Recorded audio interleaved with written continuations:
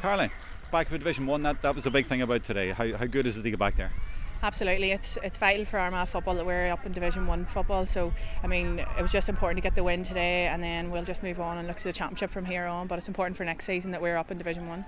We feel we're a team on the up, and to be playing in the first division is where we need to be. Uh, we know how good Donegal are. We know how good Cavan were. You know, and, and it, it was important that we we got out of this division and get up into the first division. It's going to be tough up there next year with the big boys, but we're ready for it.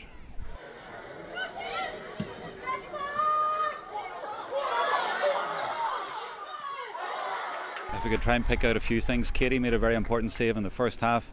Amy, of course, was fabulous, and Fionnuala got a couple of great goals. Yeah, absolutely. Um, that's the thing about this team. There's different players can step up on different days. Katie had two or three saves in the first half, and again in the second half, she was putting the pressure on. She had a great game, and I mean, obviously, Amy and Fionnuala in there. Like if you can get the ball into them, they'll do the business.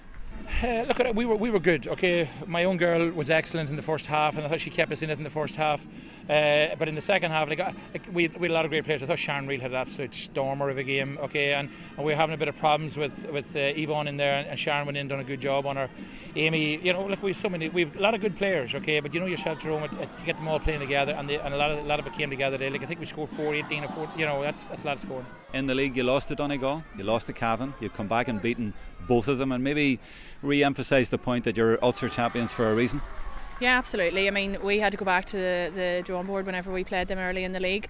Um, we knew that we still had plenty of work to do, so we didn't panic too much. And obviously, the management did their homework, and we, we knew what we were going to have to do here today. 2015 has brought a, a, new look for Armagh, a new look for James Daly. Yeah, yeah, yeah, now, I'm hearing that this beard isn't going to go, even though you won today. What's behind that? What this is all about is uh, I'm, I'm, running a, a, a, charity night for uh, in my wife's name, my late wife's name. It's a big football match where I'm going to have all the best uh, footballers from all over Ireland. We're going to play an Irish selection against an Ulster selection in October. Okay, it's all in for Anne. Okay, and I'm just doing this and growing the hair and I'm growing the beard. Until then, okay, it's going to look a little wild and a little crazy, but hopefully we'll be able to drum up a bit of sponsorship money. It's all about raising money for, for cancer awareness, and, and that's that's you know that's that's the whole focus. So please give money to get the hair off your face.